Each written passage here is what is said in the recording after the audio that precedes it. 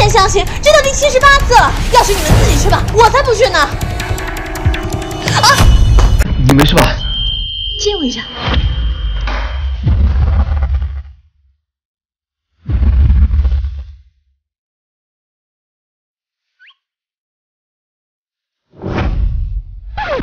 谢了。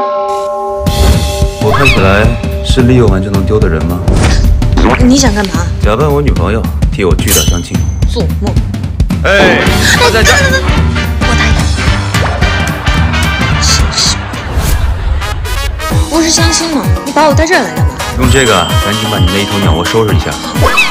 我就一个护发素能行吗？我平时可是做高级护理的。这是飘柔免洗护发素，相信我，这个干发湿发都能用的，你直接抹上就行。快点吧，大小姐。有这么厉害？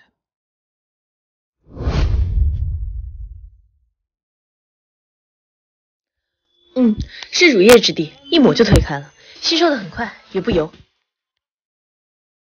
是不是很好用？它的微米级结构能够让发丝迅速吸收营养，秒变柔顺。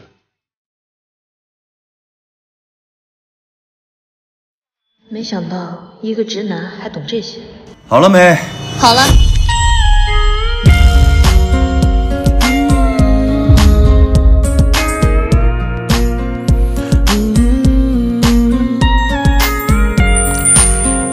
免洗护发素确实挺不错的，轻薄不粘腻。改天我让老头子给我批一箱放家。我送的当然好用啊！你看你现在像模像样的，跟去外面做完护理差不多。这瓶就送给你了，赶紧跟我走吧。哎，周游哥哥，你怎么在这儿啊？听说你今天会来这里相亲，我当然得来。我喜欢了你那么久，我肯定不会让你去相亲的。看来不需要我，有人可以帮你了。介绍一下，我女朋友秦冉。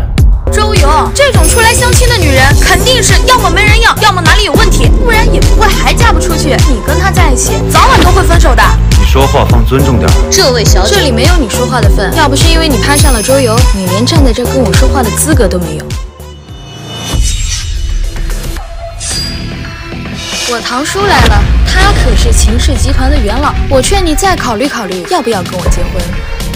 堂叔，堂叔，你为我做主啊！你快把那个女人给我赶走，我就要和周游结婚。闭嘴，小秦总。你你是秦氏集团的小秦总？小秦总怎么会出来相亲啊？相亲不过就是换一种方式相遇，有什么奇怪的吗？知根知底的相识，才能恰好遇到势均力敌的爱情。相遇的方式并不重要，重要的是遇到那个对的人。我也能怎么样？老爷吩咐我带小秦总跟尤总相亲，没想到你们自己已经先聊上了，如此甚好啊！你就是和我相亲的人，你套路我。不花点套路，怎么能把桃儿相亲的小秦总骗来呢？那个对的人